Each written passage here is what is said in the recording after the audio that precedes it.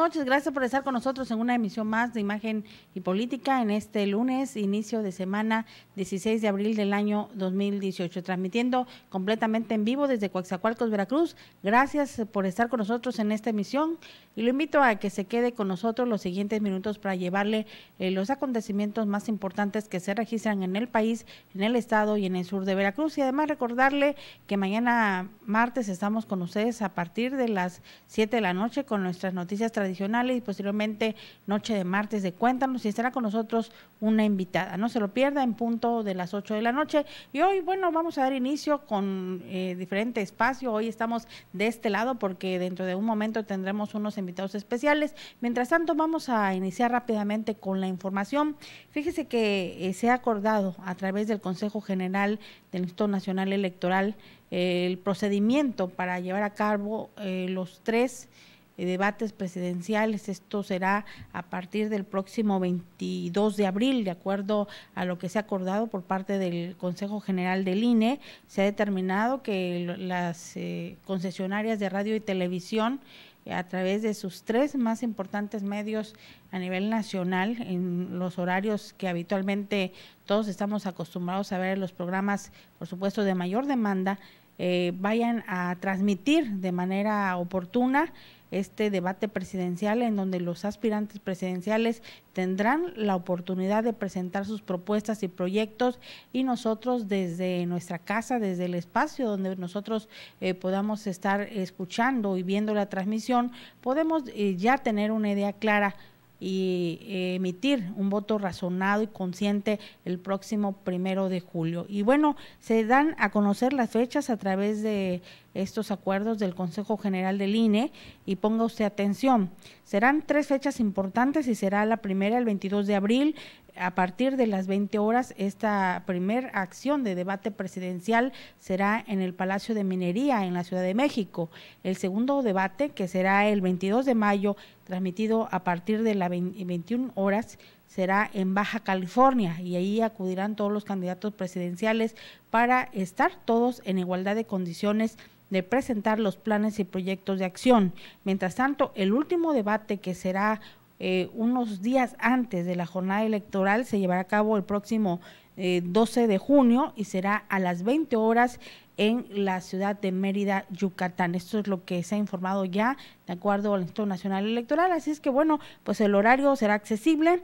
Este último debate será a las 20 horas, el segundo a las 21.30 horas, el eh, primero del próximo 22 eh, de abril será a las 8 de la noche allá en el Palacio de Minería. Así es de que bueno, eh, no hay pretexto, hay que ver el debate, hay que poder saber las propuestas, enterarnos de las propuestas y finalmente definir por quién candidato, por qué partido que lo representa, eh, pues debemos votar. Así es que bueno, luego no vengan que no sabía, que no me había enterado. Le estaremos dando a conocer a ustedes, por supuesto, las fechas de estos debates con el fin de que usted pueda estarlo escuchando, viendo, o quizá si no lo puede hacer por cuestiones laborales, eh, que no tenga tiempo por el horario, usted podrá haber diferido este debate. Así que recuerde, el próximo será el 22 de abril a partir de las 8 de la noche allá en la Ciudad de México, en el Palacio de Minería. Estarán participando hasta el momento, de acuerdo a lo que tenemos información, todos los aspirantes eh, a candidatos, todos los candidatos presidenciales, esto es también por la vía independiente, estará Margarita Zavala de Calderón y también estará Javier eh, eh, Jaime Rodríguez, el Bronco, quien fue los últimos de los registrados como candidatos por la vía independiente, y por supuesto los candidatos a la presidencia de la República, Ricardo Anaya Cortés representando a la coalición PAN-PRD, también estará José Antonio Micuribeña, representando a la alianza PRI, Partido Verde y Partido Nueva Alianza, y por supuesto también estará Andrés Manuel López Obrador, representando a esta coalición Morena, Partido Encuentro Social y Partido del Trabajo. Así es que bueno, pues ahí están todos los que van a estar presentes en este primer debate.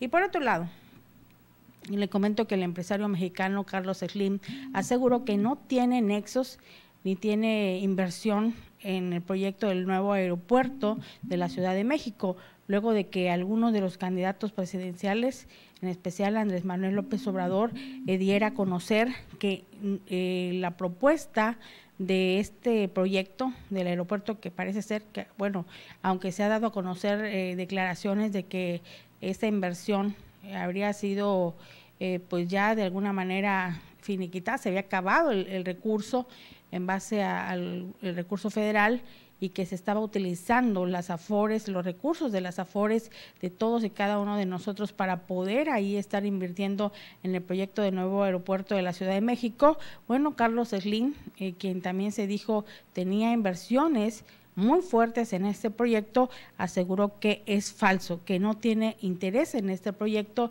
ni por supuesto eh, participar eh, próximamente, aun cuando sabe que eh, se han quedado sin recursos para poder continuar y terminar este proyecto del nuevo aeropuerto allá en la Ciudad de México. Dijo que efectivamente se requiere una inversión privada, pero que será una determinación del gobierno federal de poder definir quiénes y cómo estaría siendo la participación de estos inversionistas privados en el proyecto de nuevo aeropuerto. Es necesario y dijo que ojalá que la propuesta que se ha hecho de parte del gobierno federal pues pueda permitir la participación de capitales privados para esta eh, construcción y lamentó que una precisamente de los pronunciamientos de Andrés Manuel López Obrador pues sea eh, acabar o de alguna manera eh, cancelar el proyecto de nuevo aeropuerto si es que el voto lo favorece el próximo primero de julio. Eso sería absurdo, dijo el empresario mexicano Carlos Slim. Como también sería absurdo que los recursos de nuestras afores sea utilizado o se haya esté, se esté yendo en estos momentos destinado a este proyecto porque imagínese qué haríamos nosotros eh, o quienes tenemos precisamente afores eh, en buscar posteriormente alguna pensión o algún pago de nuestra pensión y que nos digan pues sencillamente sus afores no están, no existen, eh, se otorgaron para este proyecto cuando no hubo, por supuesto, eh, también la autorización de nosotros como trabajadores o ex trabajadores en apoyar o en respaldar este, esperemos que no sea así. Hay muchos eh, comentarios en ese sentido y aunque el gobierno federal lo ha aclarado puntualmente que es falso, que se trata solamente de declaraciones políticas de algunos de los candidatos presidenciales, eso es totalmente falso. Lo esperamos todos los trabajadores o extrabajadores porque pues no sería del todo eh, aceptable que nuestras afores hayan sido destinadas o se destinen a proyectos como esto, que muchas veces son proyectos que dejan jugosas ganancias a muchos empresarios mexicanos y al mismo gobierno, pero que definitivamente a nosotros como mexicanos no nos deja eso, sino al contrario, esto significa la pérdida de nuestros ahorros de muchos años de trabajo a través de eh, desviar los recursos de nuestras afores a este proyecto del nuevo aeropuerto de la Ciudad de México. Y bien, por otro lado, le comento que la CNC de la región se encuentra respaldando el proyecto de José Antonio Micuribeña y es más, los campesinos de la región urgen de apoyo realmente que se destinen para los campesinos de esta región. Esto lo da a conocer Joaquín Montillo, quien es el líder de la CNC en Coaxacualcos. Vamos con él.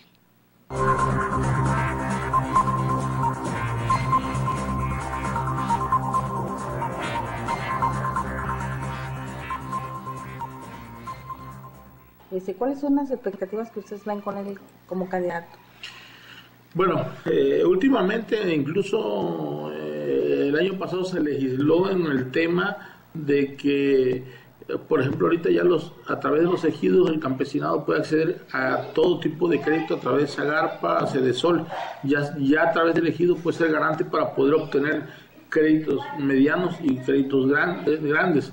Esperemos que ya ahorita a partir, ahorita están medio interrumpidos ahí los, los, programas por la cuestión electoral, pero esperemos que, que si llegase a ganar José Antonio Mito, bueno, pues que, le eche la mano al campesinado y tenemos una esperanza, el campesinado es gente de, de fe, de esperanza y que se le ha estado rifando todo el tiempo en el campo y aguantando, ¿no? Aún así, muchos compañeros han emigrado a Estados Unidos porque no hay oportunidades, pero ahorita estamos tratando de asesorar, de orientar en el tema de que al producir también que llegue al consumidor más barato y que también el, el campesino aprenda también en lo futuro a, comercializar su producto, a, negociar, a buscar espacios tanto a nivel nacional, estatal como a nivel internacional. Hoy tenemos el Internet, tenemos comunicaciones digitales que facilitan para que el campesinado eh, dé a conocer lo que trae, lo que tiene. Y esto nos está ayudando mucho.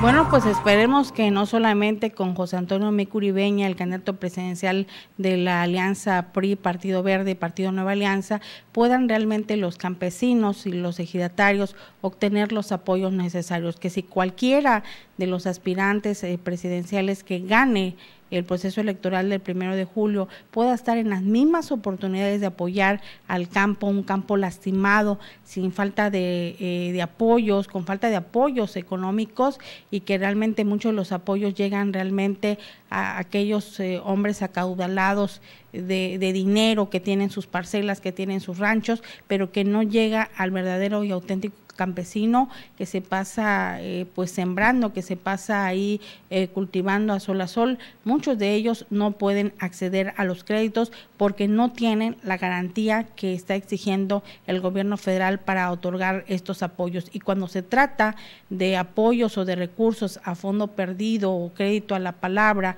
eh, que son recursos a veces que no se cobran intereses o que no se cobran realmente eh, al campesino, bueno, estos son limitados y únicamente a unos cuantos. Eh, regularmente son a los que favorecen, a quienes integran su padrón del partido oficial y ellos son los favorecidos con estos recursos, pero esperemos que en este caso no sea así. Quien gane, si sea el PRI, el PAN o Morena o, los independientes, pues realmente todos los campesinos puedan obtener el apoyo que se requiere para ellos. Y bien, tengo aquí un reporte y ojalá sabemos que nuestros amigos de Caecuaxacualcos nos monitorean, le vamos a pasar una queja eh, que creo que corresponde a ellos. Es un problema que tienen desde hace pues más de una fuga de aguas negras que lleva días y la verdad es un foco de infección, nos dice nuestro buen amigo Ricardo Cabrera. Lo peor es que todo el agua termina regada frente a nuestra casa. Eh, ya hemos reportado, el número de reporte es desde el 3 de marzo, imagínese usted, con número 003 658 eh, que, eh, y no han venido. Es en la colonia Lomas del Bosque, calle Cabá, casa número 11. Así es que le vamos a pasar con mucho gusto el reporte a nuestros amigos de CAEP. Sabemos que hay... Eh, por ahí algunos buenos amigos que nos hacen favor de tomar nuestras quejas y actúan con la celeridad que se requiere. Pues desde el 3 de marzo es mucho tiempo, mucho tiempo para no atender este problema eh, tengo entendido que muchas veces no se tiene aquí el material. Esto es una, una cuestión que se tiene que acabar. Se tiene que apoyar a la gente de aquí de Coaxacualcos, a los empresarios de Coaxacualcos, porque imagínese usted, eh, no sé si usted haya caminado por algunas calles, del, sobre todo Malpica, Guerrero, Malpica o Allende y Malpica, eh, Guerrero y Hidalgo. Bueno, pues ahí hay eh, constantemente fugas de aguas negras, lo veíamos, lo reportábamos, nos decía la gente sobre estas fugas, lo hacíamos del conocimiento de nuestros buenos amigos de CAET y nos decían, licenciada, acudimos, ya fuimos, hicimos la reparación, pero ¿qué pasaba? Yo le decía, bueno, es que todavía está ahí el área restringida, el, acceso, ¿por qué, ¿por qué se restringe si supuestamente ustedes ya atendieron la queja?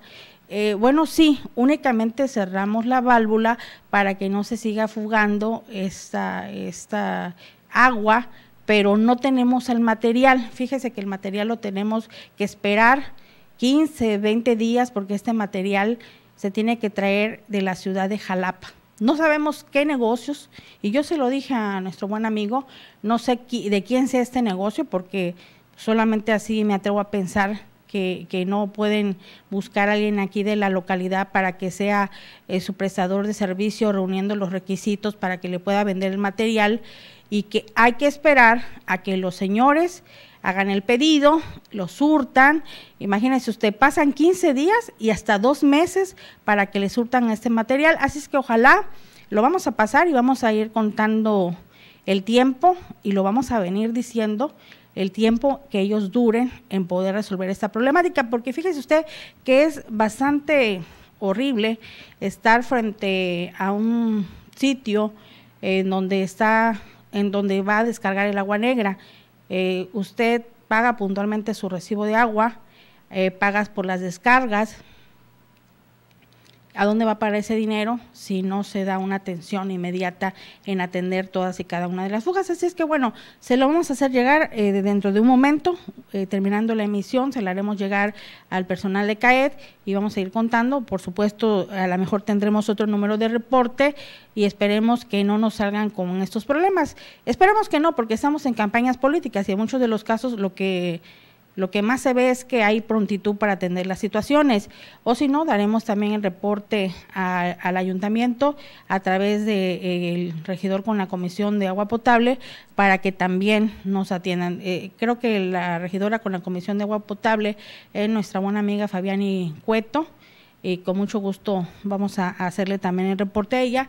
Y que bueno, a ver quién, quién puede atender esta problemática, porque no es posible que tengamos estos focos de contaminación cuando CAET, que es la principal responsable de este problema, eh, cobra y cobra muy bien por las descargas eh, de aguas negras, eh, este problema que, que, existe en todo Coaxacualcos, la mayor parte son fugas de aguas negras y que nosotros tengamos que pagar de, del recibo y que no se atienda la problemática. Pero ojalá también les permitan obtener ganancias a la gente de Coaxacualcos, a estos empresarios y que no tengamos que estar a expensas de los empresarios de Jalapa en que nos manden eh, pues el material que se requiere para hacer las reparaciones. Con todo respeto, sabemos que esto puede ser un negocio, pero también sabemos que los casos se deben atender si no inmediatamente, sí por lo menos en un tiempo prudente, que yo creo que serían 72 horas. Y eso ya es mucho. Ojalá que estemos en oportunidad de decirles en esta ocasión de que nuestro reporte ha sido atendido.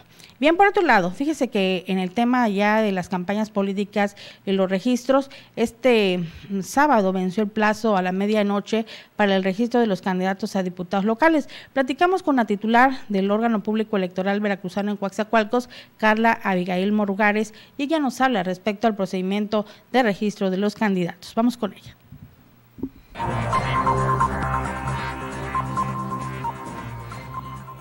Sí, buenas tardes. Buenas tardes. Mi nombre es Diana Villalma Magallanes Herrera, presidenta del Consejo Distrital número 29 de Cotacualcozón.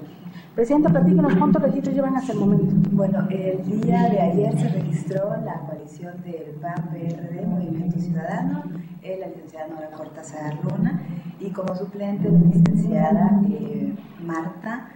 Marta Hernández Montalo. El día de hoy vamos a hacer el registro del ciudadano Mario de Jesús Callejas, que es el único candidato independiente en todo el estado de, Veracruz. El día jueves llevamos a cabo el registro por el partido Nueva Alianza de la licenciada Elisa. Eh, ¿Cuántos registros faltan aún? Eh, ¿Cuándo va ese plazo? Nosotros, el término es el 5 al 14 de abril. Es el término, o sea, el día de hoy a las 0 horas ya concluye este, este plazo. Y eh, pues ahora sí que fueron los únicos que se registraron con nosotros porque pues el trámite es directamente en el Consejo General. Nosotros hacemos lo que es el acto protocolario. En esta ocasión el único trámite que realizamos es el del candidato independiente Mario de Jesús Callejas. Después de esto, ¿qué viene el, el proceso que sigue para ustedes como Instituto Electoral? El día 20 eh, se aprueba igual en Consejo General ya lo que son las, que las candidaturas a, la Diputación y pues ellos empiezan su periodo de campaña del 29 de mayo al 27 de junio.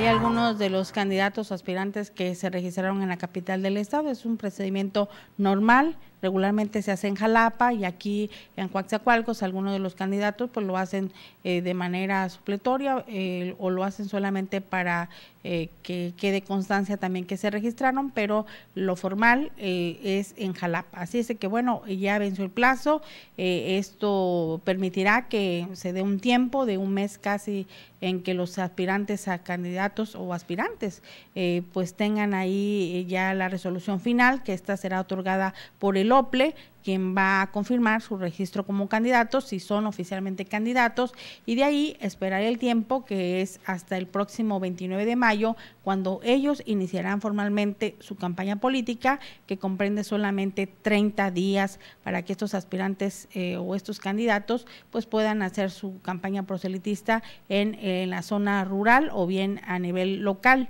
que son los diputados eh, locales o por la vía eh, de la cuestión rural y esto pues ya será en el mismo periodo que será a partir del 29 de mayo. Y bien, ¿qué hicieron hoy los candidatos a diputados eh, federales del distrito número 11? Bueno, tenemos aquí la agenda. El candidato del Partido Revolucionario Institucional, Fernando Baños, está en estos momentos en la colonia Santa Isabel y ya hemos dado cuenta precisamente con nuestro enlace en vivo de nuestros compañeros que han estado allá dando cobertura al candidato del Partido Revolucionario Institucional, Fernando Baños. Mientras tanto, la candidata del Partido Movimiento Regeneración Nacional Morena, Tania Cruz Santos, ha estado en la colonia Nueva Obrera. También hemos dado cuenta de este trabajo proselitista que han realizado estos dos candidatos. Y en el caso del candidato Renato Tronco, del Partido Acción Nacional y Partido Movimiento Ciudadano, el IPRD, no ha tenido agenda. Este día se ha tenido una reunión con la estructura del partido para precisamente definir algunos avances de su campaña y esperamos que esta medianoche o mañana nos puedan ya dar la agenda completa de las actividades de esta semana. Mientras tanto, aún estamos sin recibir la agenda del candidato del partido Nueva Alianza, Sebastián Reyes Arellano. No tenemos agenda de él y por supuesto estamos esperando saber qué actividad eh, proselitista realiza en este distrito número 11. Son los datos que tenemos respecto a lo que han hecho los candidatos el día de hoy. Nosotros vamos a una pausa, enseguida regresamos.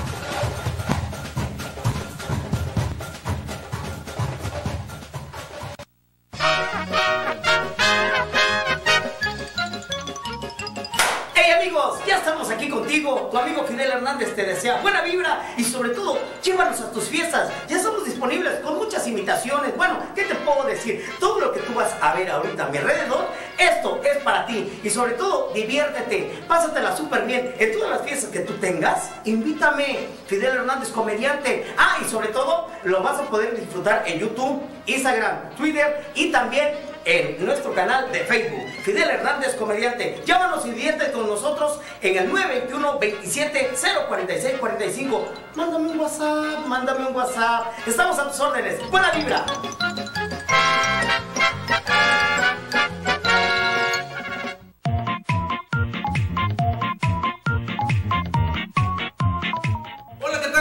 Soy el payaso Larry y estamos listos para ir a tu fiesta. Claro que sí. Magia, concursos, sorpresas y mucha alegría. Recuerda, me puedes encontrar en mis redes sociales en el Facebook como Payaso Larry, en el Instagram Payaso Larry, o mándame un WhatsApp al 921 110 5249 o 921 118 37 85. Claro que sí, ya nos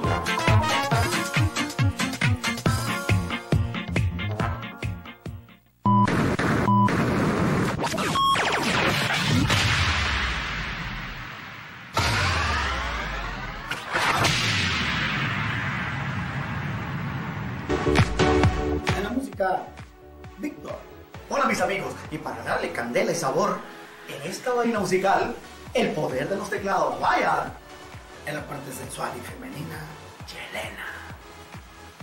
Yo te estaré acompañando en redes sociales, mensajes, saludos y felicitaciones. Y juntos la pasaremos bien noche de la vida. Y acompañándome en esta aventura, Pepe Primo. Pues también tendrá una sesión de noticias con buen sentido de humor aquí en Noches de Buena Vibra. Noche de Buena Vibra. Todos los jueves a partir de las 10 de la noche. ¡Los esperamos!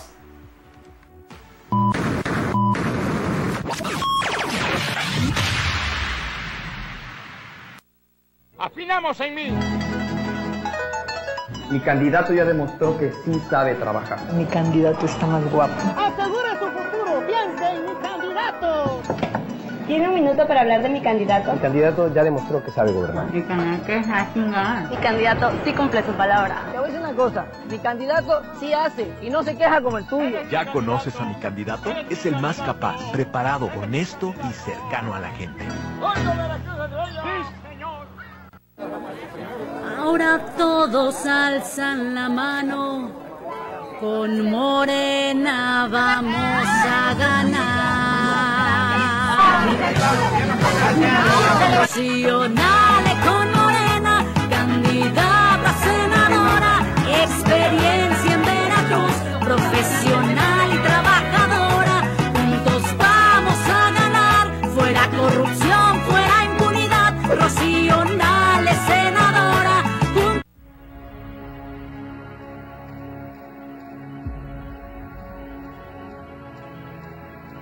Soy una mujer de izquierda, una mujer honesta, trabajadora y profesional. El Congreso de la Unión requiere de personas preparadas, pero sobre todo con honorabilidad probada.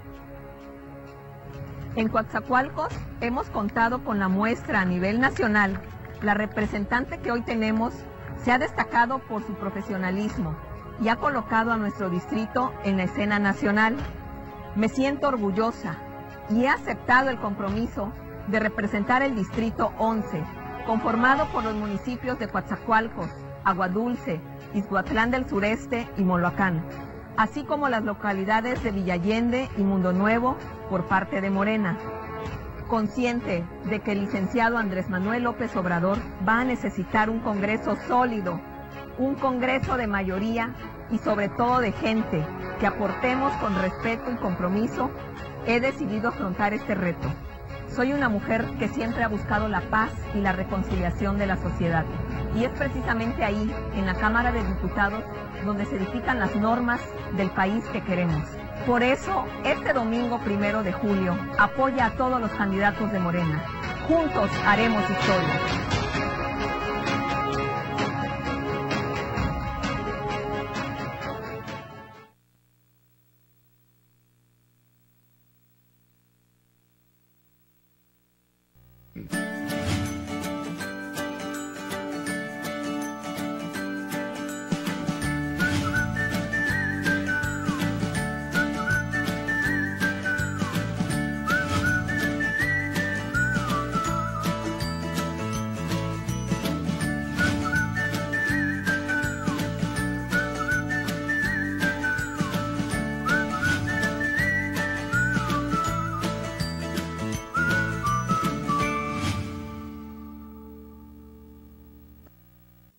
Gracias, qué bueno que continúa con nosotros. Estamos eh, en esta transmisión en vivo desde Coatzacoalcos, Veracruz.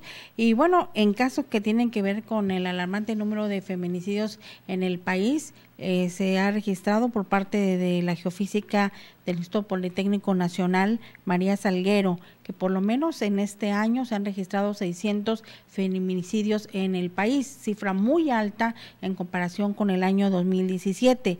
Y lo más lamentable es que este número de casos eh, que se registran en Veracruz, 33 casos de enero a marzo, Coaxacualcos se está ocupando el deshonroso primer lugar con cuatro feminicidios, le sigue la zona de Minatitlán con tres, también Poza Rica con tres casos y otro más, eh, otros dos más en el municipio de Córdoba, lo que hace un total de 12 feminicidios en estos municipios. Y bueno, decíamos que 33 eh, feminicidios registrados tan solo de enero a marzo eh, en estos números tan alarmantes en cifras que ha eh, dado a conocer la geofísica del Instituto Politécnico Nacional, pues eh, demuestran que Veracruz es uno de los estados que mayor número de feminicidios registras. Tan solo los que Google eh, ha podido registrar a través de sus mapas y que la geofísica del Instituto Politécnico Nacional ha dado a conocer, eh, destacando que por lo menos eh, de los de enero y febrero se registraron ocho casos en el estado de Veracruz.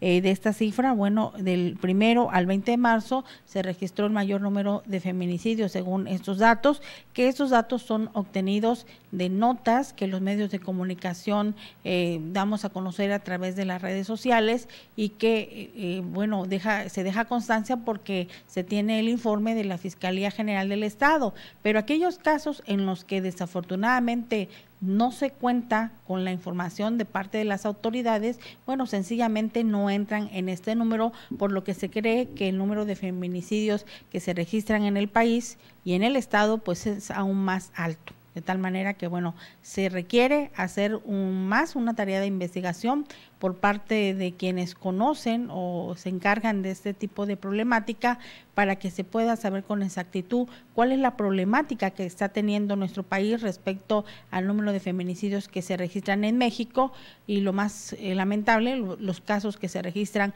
en el estado de Veracruz. Y yo creo que esta cifra tan solo es eh, la que se registra eh, de enero a marzo, pudiera ser superior tomando en cuenta los últimos feminicidios que se han registrado en este municipio de Coaxacualcos, por lo que Coaxacualcos nuevamente estaría campeón lamentablemente el número de asesinatos cometidos contra mujeres. Esto es muy lamentable y ojalá que no solamente se diga y se informe al respecto, sino que se tomen acciones inmediatas que conlleven a poder terminar controlar o erradicar este número de asesinatos que estamos teniendo hoy en cuenta. Y por otro lado, fíjese que el órgano público electoral veracruzano, a través de su presidenta, eh, dio a conocer, hizo un llamado a los actores políticos, a los candidatos ya registrados y avalados por el órgano público electoral, pero sobre todo a los últimos candidatos registrados este fin de semana a conducirse con legalidad. Este es el llamado. Vamos con ella. Consejo, distinguido público asistente. Bienvenidos todos al Consejo Distrital 29 del Organismo Público Local Electoral del Estado de Veracruz. El día de hoy asistimos a la entrega de la documentación que presenta el ciudadano Mario de Jesús Callejas García, en cumplimiento con los requisitos señalados en el artículo 22, fracciones primera y segunda de la Constitución del Estado, así como el artículo 173, 174, 175, 176, 177 y 178 del Código Electoral para el Estado de Veracruz, con el fin de solicitar su registro como candidato independiente a la Diputación Local por el Distrito 29 de Coatzacoalcos. Con la entrega de esta documentación se cumple con el plazo establecido en el calendario electoral 2017-2018 y el acuerdo OPCG 243-2017 en el cual se determina que del día 5 al 14 de abril del presente año, partidos políticos y candidatos independientes presenten su solicitud de registro de candidaturas a las diputaciones locales. Una vez recibida la solicitud de registro a la candidatura por la diputación local, de manera inmediata será remitida al Consejo General del OPLE para que a su vez analicen y verifiquen que todos los requisitos sean cubiertos en su cabalidad y posteriormente el día 20 de abril del año curso, sea cuando se encuentre aprobada la candidatura por el máximo órgano local electoral.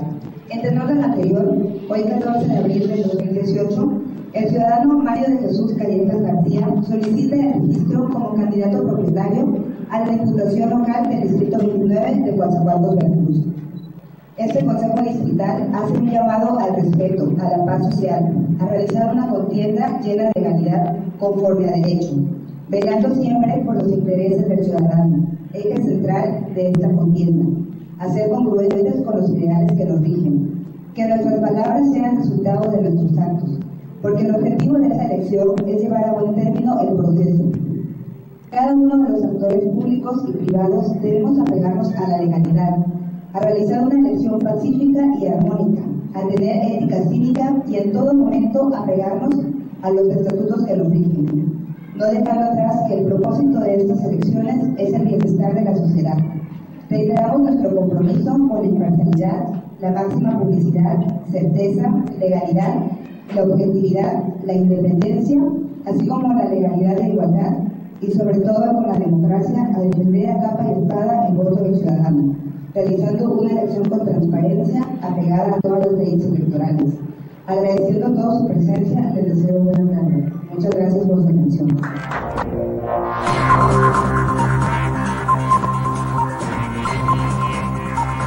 Pues este es el llamado que hace precisamente el OPLE a todos los eh, candidatos, a todos los actores políticos que se conduzcan con legalidad y transparencia en los procesos electorales, sobre todo que no se conduzcan con descalificaciones y agresiones eh, de palabras hacia sus demás compañeros. Bien, precisamente también platicamos con Mario Callejas, candidato independiente ya registrado ante este órgano público electoral veracruzano, quien representa al distrito número 29 de Coaxacualcos local. Vamos con él.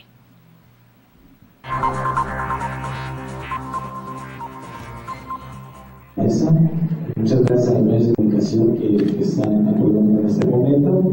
En verdad agradezco demasiado el que pueda estar aquí porque fue un trabajo arduo, un trabajo difícil y además la caminada que nos aventamos ahorita pues salió con ese calor algo cansado y sin embargo aquí está.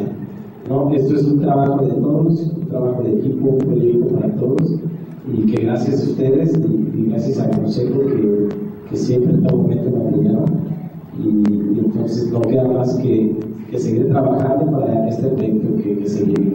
Muchas gracias a todos.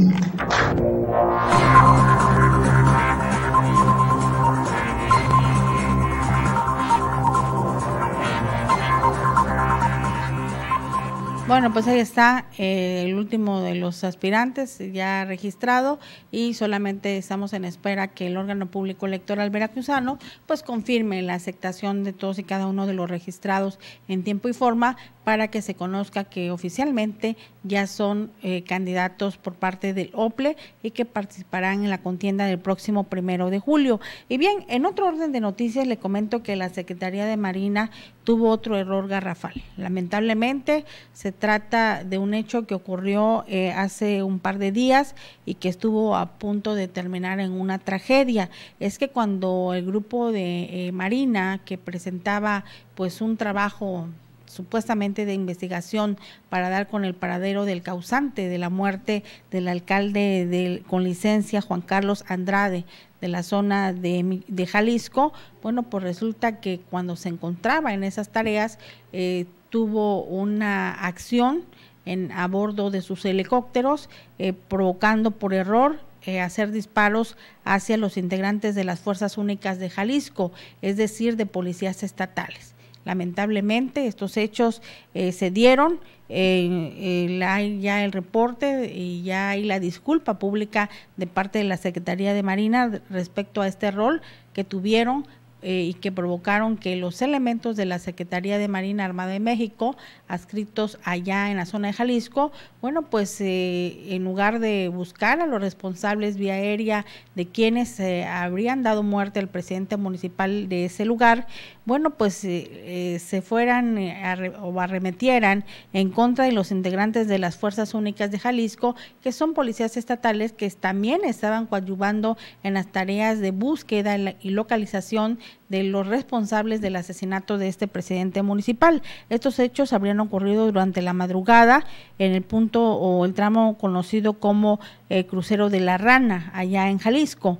Eh, los marinos dispararon contra dos helicópteros en donde precisamente estaban esas fuerzas únicas especiales y eh, lamentablemente después se dijo que se trató de un error.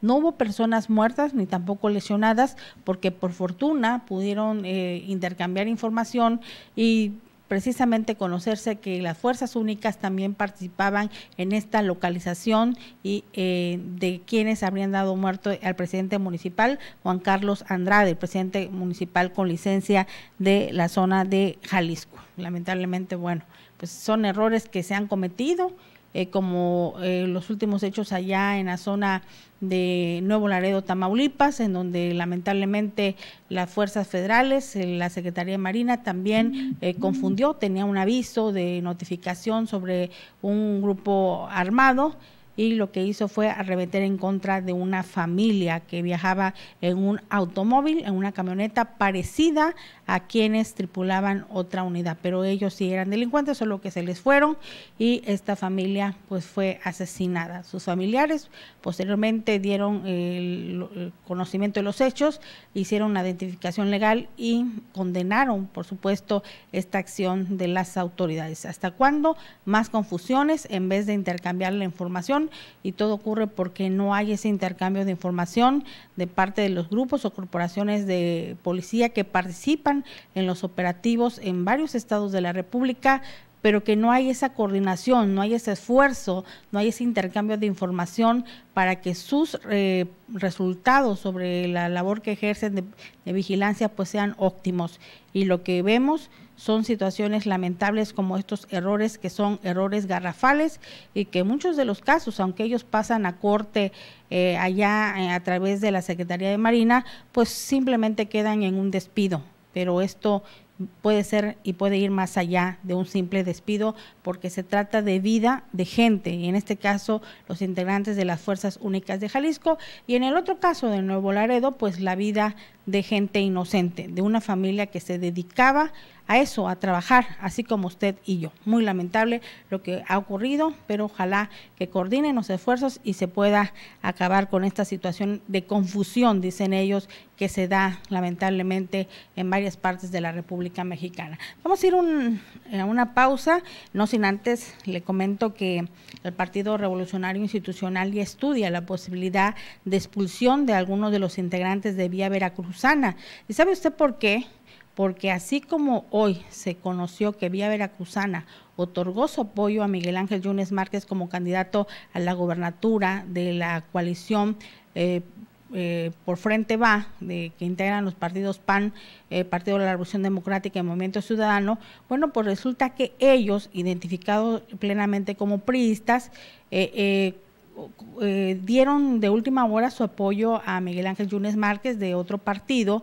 Eh, sin embargo, hay que recordar que quien lidera esta asociación, Vía Veracruzana, es precisamente Amadeo Flores Espinosa, quien ha sido dos veces presidente estatal del Partido Revolucionario Institucional. ¿Quién ha dicho eso? Lo ha dicho Américo Zúñiga eh, Martínez, quien es actualmente el dirigente del PRI en Veracruz y quien señala que lamentablemente esta adhesión que dio Vía Veracruzana que si bien no, no han sido todos los integrantes de Vía Veracruzana, pero si han sido unos, bueno, significará que formalmente el partido determine la expulsión de ellos por otorgar su apoyo no a su candidato a la gobernatura, como es en, este caso José Yunes Zorrilla, sino a Miguel Ángel Yunes Márquez. Pero ¿qué pasa? ¿Qué está pasando en la política actualmente? Que muchos de los actores o asociaciones, grupos políticos o simplemente quienes se integran los partidos políticos, que son tribus, grupos o en este caso como el PRI, que forma sectores y organizaciones, pues están jugándole a, listo y le están dando su apoyo a, a, personajes que ellos creen que pueden ganar o creen que les va a ir bien cuando ellos obtengan el triunfo, como si no supiéramos que muchos cuando ganan pues se olvidan de las promesas y eh, han dado su apoyo a, en este caso a Miguel Ángel Yunes Márquez. Pero ¿qué pasa con aquellos traidores que no dan su apoyo, pero que bajo de la mesa, otras bambalinas, sí están jugando a listo y le están dando su apoyo eh, con todo y, su gente o, o ellos a los ciudadanos? A ellos cómo se les llama, qué pasa con ellos, por qué realmente no se descubren ni dicen yo voy con, esta persona porque eh, realmente esta va a representar mis intereses. Pero bueno, ahí está el PRI teniendo problemas con Vía Veracruzana por otorgar su apoyo al Partido Acción Nacional. Vamos a la pausa, regresamos.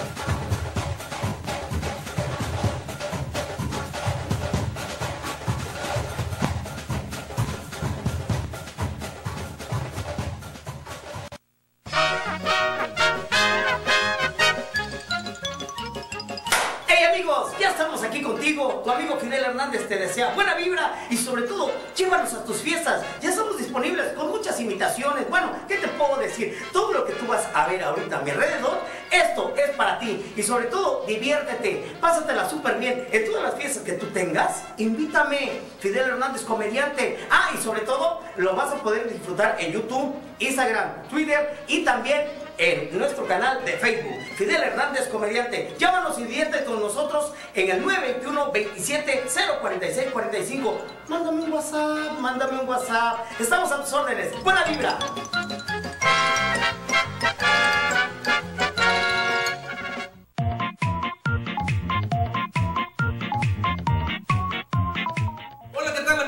Soy el payaso Larry y estamos listos para ir a tu fiesta. Claro que sí. Magia, concursos, sorpresas y mucha alegría. Recuerda, me puedes encontrar en mis redes sociales en el Facebook como Payaso Larry, en el Instagram como Payaso Larry, o mándame un WhatsApp al 921 110 52 49 o 921 118 37 85. Claro que sí, y allá nos vemos.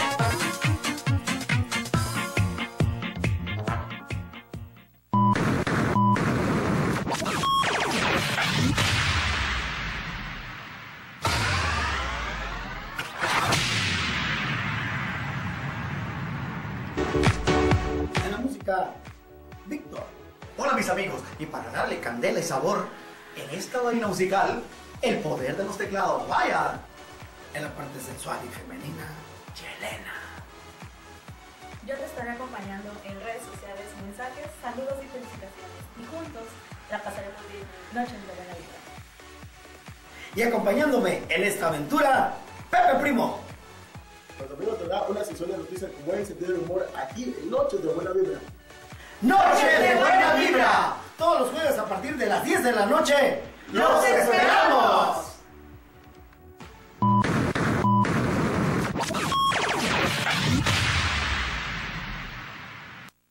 Afinamos en mí.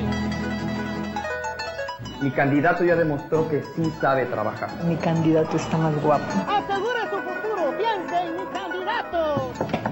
¿Tiene un minuto para hablar de mi candidato? Mi candidato ya demostró que sabe gobernar. Mi candidato sí cumple su palabra. Te voy a decir una cosa. Mi candidato sí hace y no se queja como el tuyo. ¿Ya conoces a mi candidato? Es el más capaz, preparado, honesto y cercano a la gente. Ahora todos alzan la mano, con Morena vamos a ganar. Nacionales con Morena, candidata a senadora, experiencia en Veracruz, profesional y trabajadora. Juntos vamos a ganar, fuera corrupción, fuera impunidad, Rocío Nale, senadora.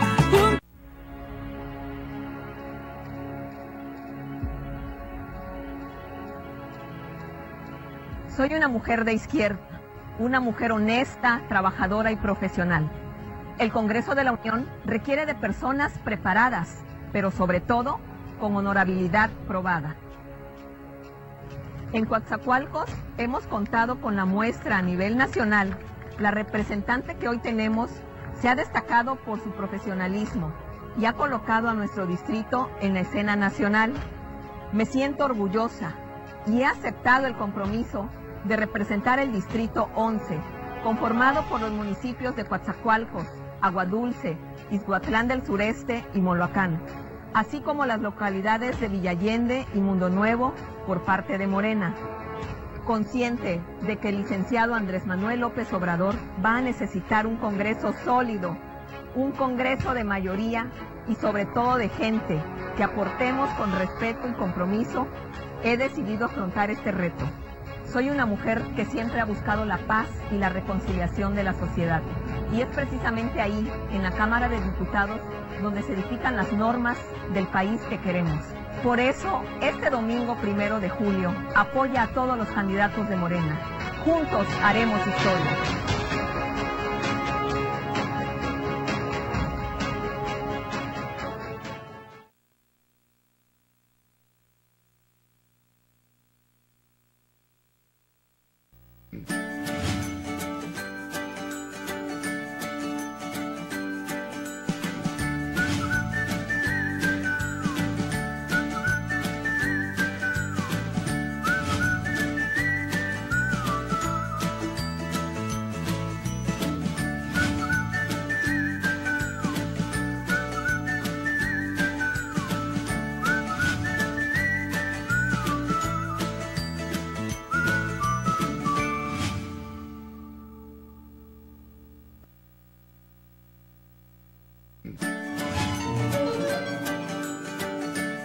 Pues hoy tenemos invitados especiales, ya aquí están en el estudio los gavilanes. Yo saludo con mucho gusto a David López Medinilla, eh, también a Ever Joachín y Alex López Medinilla, los hermanos Medinilla o los gavilanes. A ver, platícanos, No, David. Los, los gavilanes. Este, somos un, un grupo jarocho que este, incursionamos en otros géneros también, pero este, nos acompaña también ahorita el, nuestro nuevo integrante, que es Ever, Ever Joachín. Joachín. Él, él tiene una dinastía, su familia también, este, De los Joachín. de los ha sido jaraneros de, de, de antaño. Entonces él viene de, su familia viene de Isla. Nosotros somos originarios del Valle de Leuxpanapa, Alex y un servidor, pero él viene de Isla. Y bueno, pues hoy están aquí con nosotros para dar a conocer precisamente pues eh, el grupo, los gavilanes, los gavilanes, y además todo el lo que han interpretado, ¿no? Todo lo que han venido haciendo ustedes a lo largo de estos años aquí en Coaxacualcos y en la región. Así es. De hecho, él, este, el arpa que traemos es fabricada por él, por Ever Joachín. Este, y nuestro género ese es el son jarocho, pero aparte de eso incursionamos en otros géneros, ¿Como cuáles, David? Rancheras, corridos, boleros, baladas, este, inclusive de banda, instrumentales con el arpa. Eh, por ahí vamos a interpretar algunos temas y que el público nos califique y nos diga si estamos bien o estamos mal. Claro. Interpretamos bien o interpretamos mal. A ver, ¿O ¿qué, qué nos falta, no? ¿qué te parece si empezamos con un son jarocho para Claro. escucharlos? Esto es Canto a Veracruz y viene de ahí, Los Gavilanes.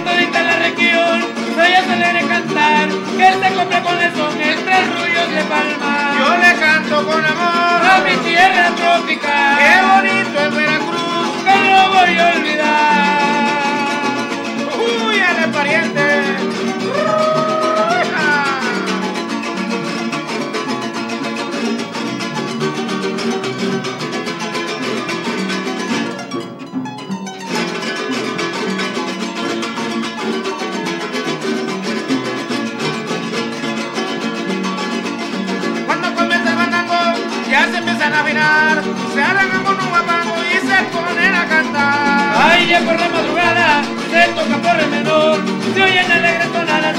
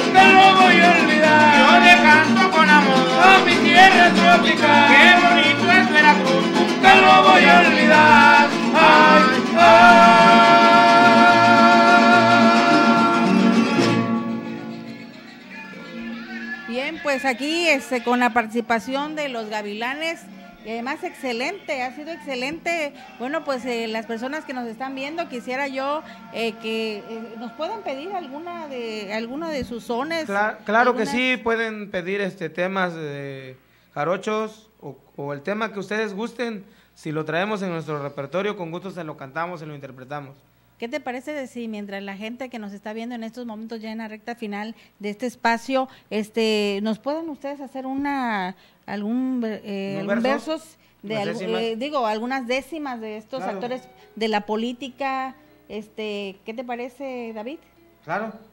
Eh, ¿Con qué con qué se van a Este, hay un hay un tema de son jarocho que se llama el jarabe loco, que es donde la mayoría de los este, repentistas improvisan sus versos y este, pues nosotros ahí vamos a interpretar. Ah, bueno, pues. Aunque el veracruzano siempre se ha identificado y puede, puede improvisar en cualquier son, pero donde más se ocupa es en el jarabelo. Ah, ok, bueno, pues los, los escuchamos mientras tanto.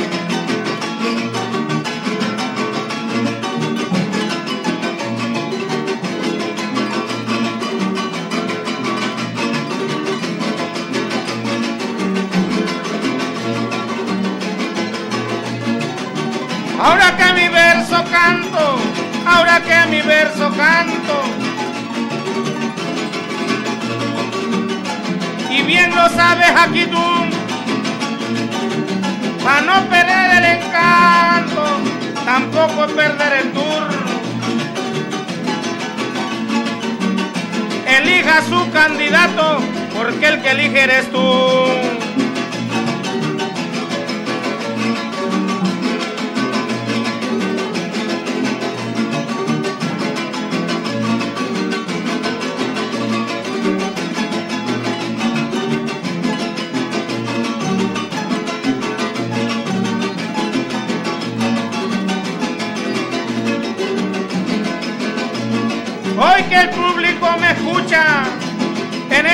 Lugar,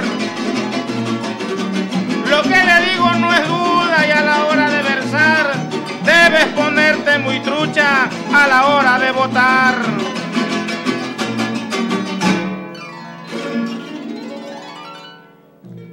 Pues gracias a David López Medinilla, gracias también a Ever Joachín y Alex López Medinilla. Este, bueno, ¿quién de nosotros no nos gusta las, eh, estas interpretaciones de sones, de boleros y demás que en muchas eh, lo- ocasiones, bueno, pues nos hacen sentir que estamos en Veracruz, en esta tierra, ¿no? Este, a ver, David, dinos eh, dónde los pueden contratar, dónde, eh, la dirección y el teléfono, dónde pueden saber de ustedes. Vía telefónica aquí con el compañero Ever Joachín al 921-150-7617, con el compañero Alex al 921-233-9953, que son los que tienen WhatsApp, por ahí por WhatsApp también con ellos, con un servidor al 921-138-1744. Y bien, ustedes este, van a todos los lugares. Sí, este, a donde nos contraten, a donde nos llamen, a donde nos lleven. Sobre todo, oye, las David, invitaciones. las invitaciones. Oye, eh, sobre todo hay que apoyar a la música de nuestra región, ¿no? A los sones, los boleros, las décimas y todo esto que, que nos identifica como veracruzanos. Sí, es mucha música de, de nuestra antigüedad, de nuestros antepasados, de nuestra cultura, que este que nuestras raíces se están perdiendo, pero hoy en día este, nuestras autoridades, pues aunque sea un poquito, han apoyado en el rescate de nuestra tradición y es muy bonito esto, del son jarocho eh, en sus dos corrientes, ya sea tradicional o sea estilizado. Eh, hablo a tradicional, el son antiguo que, que cantan con jaranas, con requintos, con leona, y el son estilizado que se ocupa en los ballet, que es el del arpa, el requinto, la jarana. ¿Y ustedes están en los dos o nada Eh, más en el- este, ahorita por este momento traemos los instrumentos estilizados, pero también sabemos tocar el son jarocho tradicional, el antiguo, como hay muchos grupos compañeros de nosotros que ejecutan ese son. David, ¿y cómo se forman ustedes? ¿Cómo se constituyen? ¿Ustedes vienen de alguna familia de músicos? Platícanos un poco. Eh, bueno, nosotros, este, Alex y un servidor, pues somos hermanos y venimos de nuestros padres que mi papá es músico de trío. Por eso es este incursionamos, como le dije hace un rato, incursionamos en otros géneros. Él nos enseñó a ejecutar la ranchera, el corrido, el bolero, la balada y este y luego aprendimos este este este género que es el son jarocho, que es muy bonito, muy florido y muy alegre. Entonces este nos, nos gustó, nos quedamos aquí, pero Ever, Ever sí viene de una familia auténtica veracruzana, jarocha, de isla, de los huachines de isla.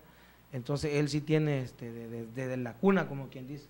Eh, Ever Joachín, platícanos un poco de tu familia. Eh, el apellido Joachín, bueno, pues es muy conocido, ¿no? Aquí en la localidad que también sabemos que hay músicos eh, que- dedicados a este género también y que, bueno, han podido destacar. Platícanos un poco. Sí, este, bueno, pues yo aprendí del, del vengo de la, del, así que del son jarocho de parte de mi papá, mi abuelito, fueron de las personas que, que empezaron a, a tocar la música veracruzana. Yo aprendí un poco de la, de la experiencia que mi papá me fue brindando. Mi hermano este, también trabajó con nosotros. Otra pues consiguió otro trabajo, tuvo que, que este, alejarnos. Mi papá hace tres meses falleció y este, yo me quedé solo y entonces le pedí apoyo a mis compañeros, ellos me lo brindaron y aquí estamos acompañándolos también. Pues qué bueno y qué mejor Así que es. formando este grupo Los Gavilanes. Así es de que yo les hago la invitación, realmente pues está muy bien. ¿Cuánto cobran? ¿Cómo andan en cuanto a costos? Digo, si se puede saber para que la gente se anime. eh, Claro, este, mire, este, dentro de la ciudad estamos cobrando este, una serenata en 1.600 pesos, que consta de cinco canciones y le regalamos nosotros dos. Y a la hora que ellos gusten, en la madrugada, porque ya sabemos que con la serenata siempre se da en la madrugada, pero pues muchos, este, hoy en la actualidad, este, gustan por dar una serenata al desayuno. Sí, ¿verdad? Ya como Sí. están las cosas, ya mejor que sea de día. Sí, que sea de día, entonces este, muchas damitas este, gustan por ir a los restaurantes a festejar su cumpleaños en el desayuno. Pues qué bueno. y ya en la, en la noche pues arman su pachanga, pero ya con otra música, que hay muchos géneros en- dentro de nuestra cultura, el tropical, la cumbia, el mariachi, hay muchos géneros. Eh, pero nuestro, nuestro, nuestro género es este, como es versátil, pues este, aplica para, para cualquier hora. Nosotros nos pueden contratar a los números que le dijimos y este y por hora estamos cobrando 2.500. Por hora. ¿Y ahí cuántas eh, melodías, cuántas interpretaciones? 10, 15, depende mucho si nos piden versos o no nos piden versos, porque luego nos piden versos para todos sus invitados. Entonces ahí donde se va consumiendo la mayor parte del tiempo en que, que nosotros estamos contratados, pero lo que ejecutamos nosotros es su hora completa de, de música, a como nos los piden, el tema que nos piden, y si no lo sabemos, pues lo hacemos como Don Chabelo, se la catafixiamos. Muy bien, este David. Oye, eh, por aquí hay, ma- hay saludos. Fíjate que nos envía saludos Yesenia Huachín. Eh, ¿Es algo de ustedes? Ah, bueno, pues tu prima este, está mandándonos salud. Dice que no nos vemos. ¿Cómo que no nos vemos y nos vemos hasta Estados Unidos? Por ahí nos están Claro. viendo hasta... Aunque no hablemos inglés, pero Nos están viendo, nos están digo, viendo. Yesenia. Por ahí este programa queda grabado, lo pueden ustedes ver. Ese también lo pueden contratar, ¿por qué no? Los gavilanes tocan excelente. Además, yo les reitero la invitación, que no sea la primera ni la última vez que estén ustedes aquí. Eh, estamos viviendo momentos políticos y qué mejor que puedan venir precisamente a promocionar sus décimas. Claro que sí, este, nosotros estamos abiertos a, a las invitaciones que nos den, este, aquí la radio, La pues, este, televisión, internet. por internet, este, que nos brindaron el día de hoy, este, y si se vuelve a repetir, para nosotros es mejor, es este, una gran satisfacción de estar con ustedes, estar con su público, y que nos conozcan, que nos vayan este, conociendo, que somos intérpretes de la- del son jarocho, de la décima, de los versos, de la música instrumental con el arpa y de otros géneros. Este, el público está, este, eh, tiene la idea de que el, el músico jaranero, el músico jarocho, pues no puede interpretar otro género más que su música, pero este, nosotros sí este, podemos interpretar eso. Qué bueno. Ese, oye, David López Medinilla, que eh, también nos envía saludos Jorge Juárez, Ricardo Cabrera Nolasco, también Yesenia Joachín, como ya nos habíamos dicho, nuestra amiga Rosy Terán y varios más que nos han pedido, bueno, pues otra interpretación más en esta noche de los gavilanes. Y yo Claro. invitan, y con ellos nos despedimos y le deseamos además que ustedes puedan contratarlos, ya están por ahí los números que nos han promocionado, eh, también nos van a dejar su dirección o cualquier otro dato que nos permita que en el momento que ustedes requieran contratarlos. Qué mejor que apoyar la música veracruzana y nos eh, despedimos con esta interpretación de los gavilanes. Hay una este, melodía este, ranchera, norteña, romántica, A ver. este, que interpretamos nosotros a nuestro estilo de los gavilanes. Espero que les guste para cambiar de género y nos califiquen si lo hacemos bien o lo hacemos mal. Bueno, pues aquí te Pero esto calificamos. es, es, este, eres mi buena suerte. Eres mi buena suerte.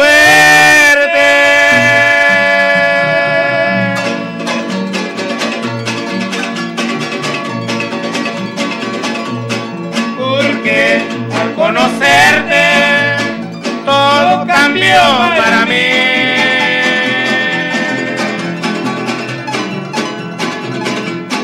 Eres la consentida la dueña de mi vida, porque me has hecho feliz.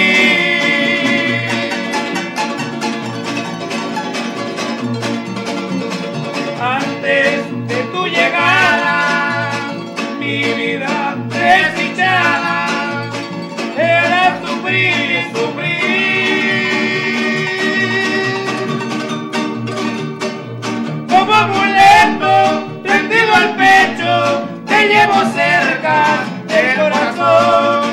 Mi medallita y escapulario, dame por siempre tu protección.